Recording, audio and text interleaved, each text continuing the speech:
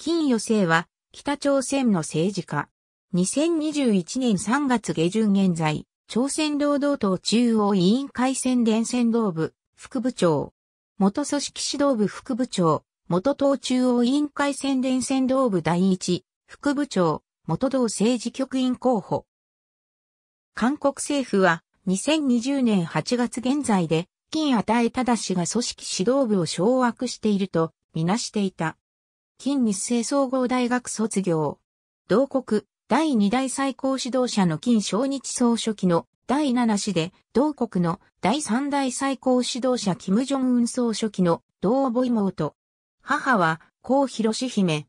現在の漢字表記が判明するまでは、金余生、金南寺帝、金南寺静香とも表記された。未成年だった頃の情報は限られているが、金正日の専属国区だった藤本健治の回想録によると、正日の寵愛を得ていた。1996年4月から2000年末まで兄の金正恩と共にスイスベルンに留学していた。金正恩はパクウン、自身はチョンスンという変名で朝鮮民主主義人民共和国中スイス大使館職員の子供としてベルンの国際学校で英語、ドイツ語、フランス語を学んでいたという。そのスイスの留学の時の写真は2010年6月に公開された。北朝鮮に戻って近日清総合大学に入学したのは2007年頃とされており、物理学を専攻していた。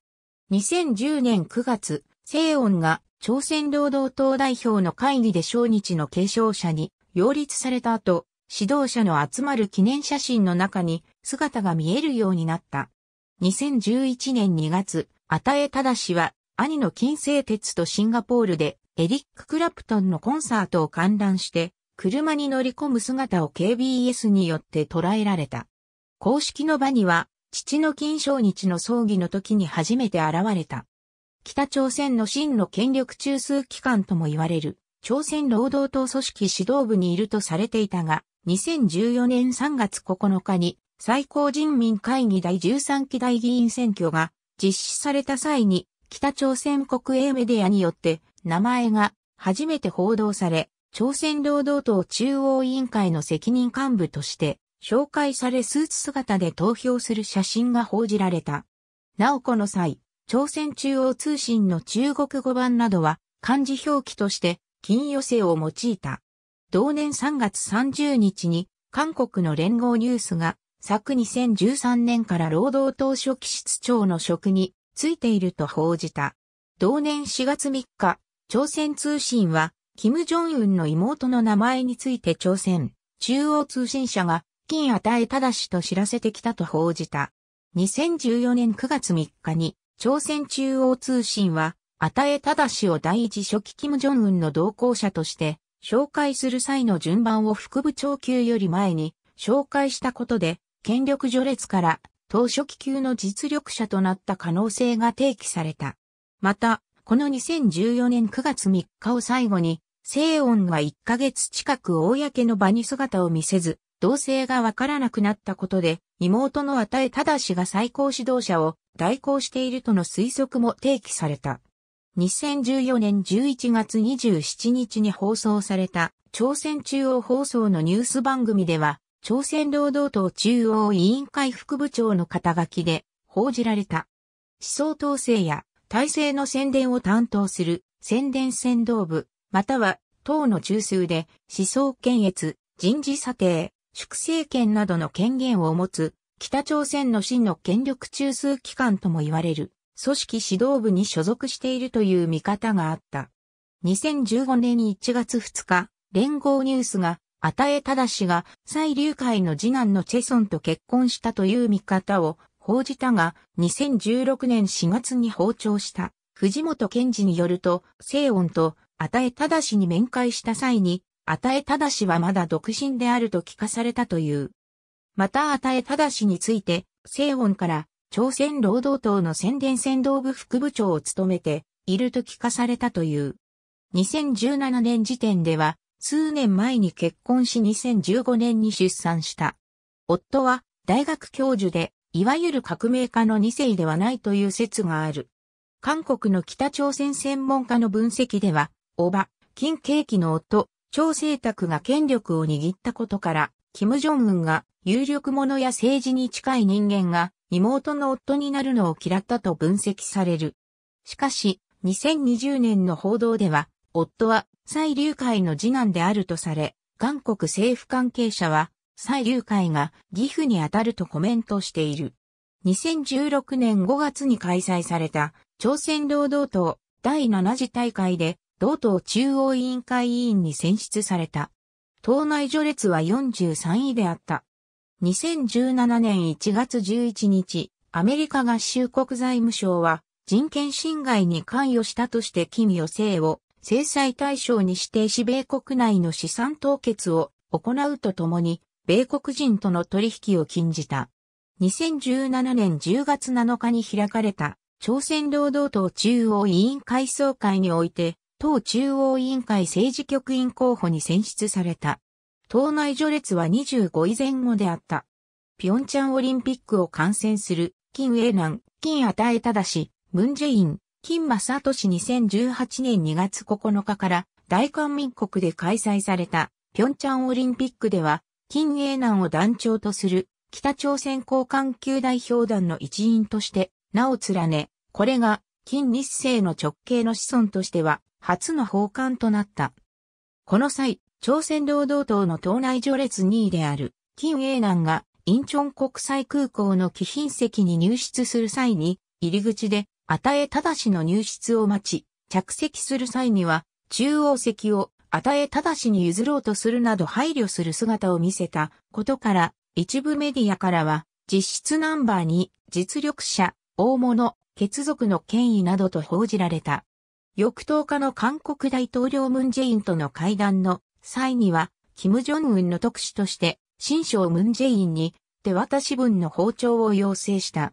また11日の北朝鮮の産地園管弦楽団の公演を感激する際には、金英南より上座となるムンジェインの右隣に着座して感激した。この包丁にあたって、北朝鮮側韓国に与えただしを党中央委員会の第一副部長の肩書きで紹介し、与えただしが副部長から昇格していたことが確認された。記帳後、同時期に訪韓していたアメリカ合衆国、副大統領マイク・ペンスと会談する予定が、韓国の仲介で組まれていたことが明らかになったが、ペンスが訪韓中に行った脱北者との面会や、追加制裁の表明などに、北朝鮮が不快感を示して実現には至らなかった。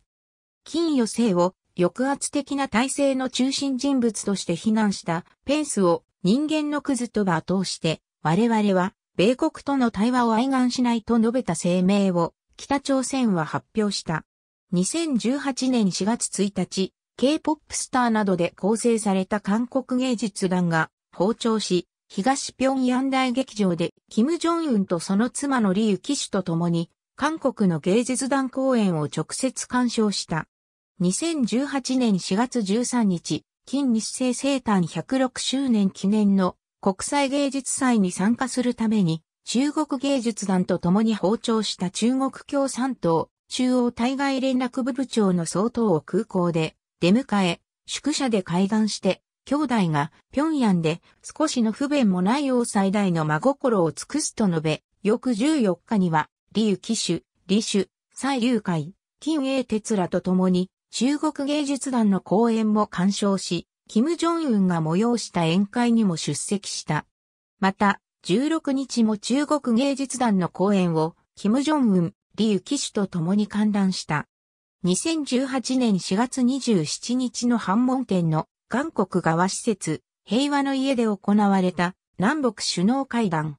一番右が予定2018年4月27日に反問店で行われた南北首脳会談にもキム・ジョンウンに同道して兄を補佐した。与えただしは2月に特使として奉還していたため、注目度が高かった。会談の最中に、韓国大統領ムンジェインが、与えただしについて、南側でスターになったと紹介すると笑いが起こり、与えただしが顔をあからめる一幕があった。2018年5月7日、初めて航空機を外遊に利用して、中国の大連を訪れた金正恩に、李主、金英鉄、蔡義姫らと同道した。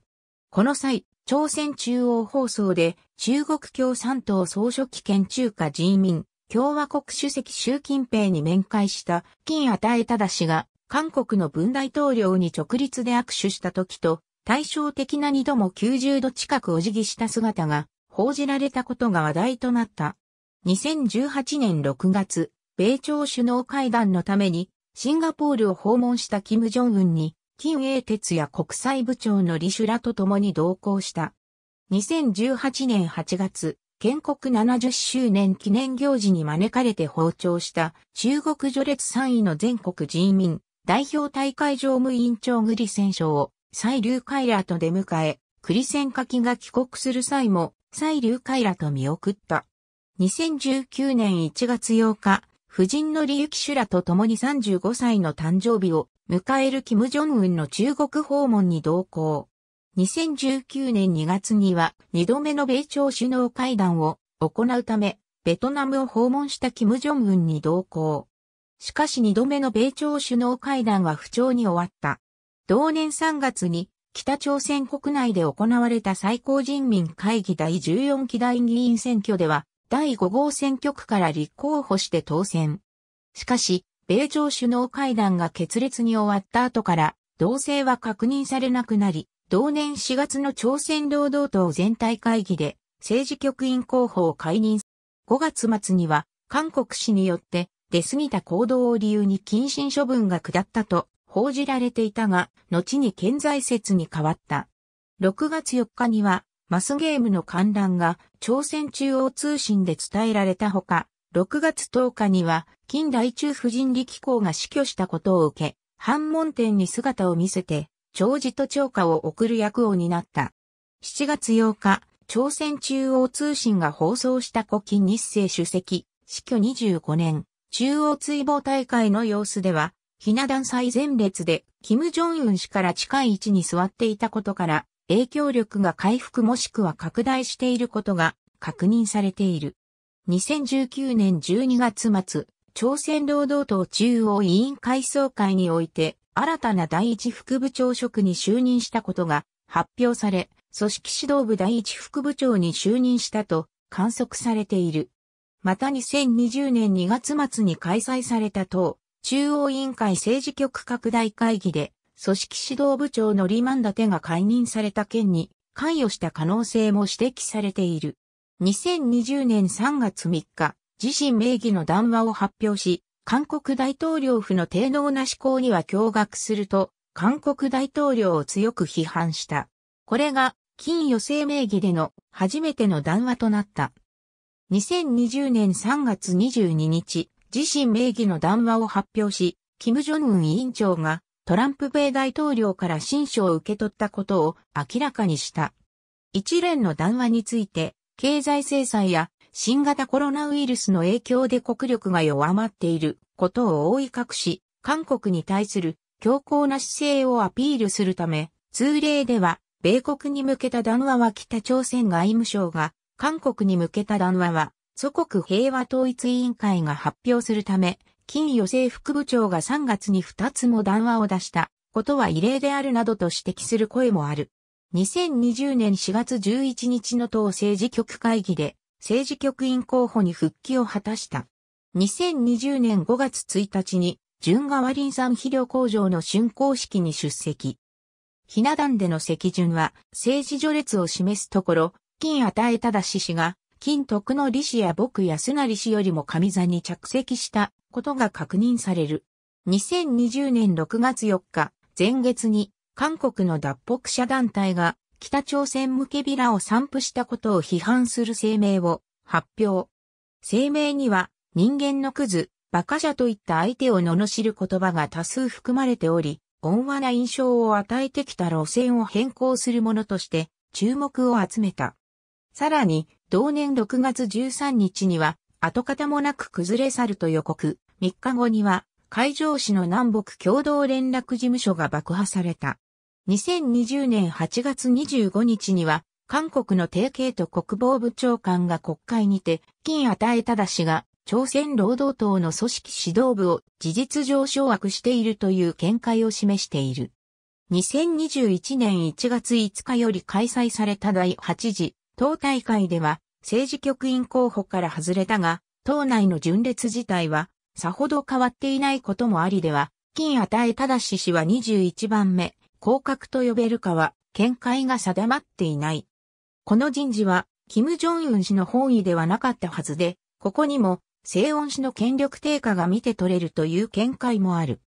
1月12日に北朝鮮が10日夜に軍事パレードを実施した状況を捉えたと、韓国軍合同参謀本部が発表したことに対し、敵対的警戒心を表していると強く非難する談話を発表。その談話の肩書きが、かつての第一副部長から副部長に変わっており、格下げされていることが明らかになった。同年3月30日に北朝鮮に対しミサイル発射の自制を求めたムンジェインに対する批判の談話が発表された際には、肩書きが当宣伝先導部副部長と紹介された。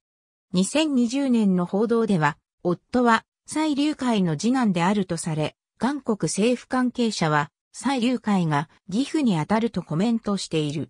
ベルン留学時にはバレエのレッスンを受けていた。留学当時の趣味はアニメーションのイラストを描くことだった。西音体制後、アニ西音のヘアスタイルやメガネなど、ファッションコーディネートをしているという。NHK スペシャルで放映された内容によれば、一時期、キム・ジョンウンと並び、金正日が金与正を後継者候補として考えていた時期があったという。同番組に出演した元ロシア極東連邦管区大統領全権代表、コンスタンチン・プリコフスキーは2001年放浪した金正日に随行した際に自分の子供のうち、西音と与え正氏が政治に関心を示しており、これから二人のどちらかを教育して後継者にするつもりだと聞かされたと語っている。金正恩の健康不安とセットでしばしば後継候補の一人であるとの観測が報道されている。2019年には金与正の名義による指示文が党の各機関に下されていること、2020年には北朝鮮による火力演習に対する韓国の反応を批判すると、共に政治的に重要性の高い声明を出したことなど、同国の政治的な序列において中心的役割を果たしていることも後継者説の裏付けとなっている。金日成、金正日、金正恩の家系図。ありがとうございます。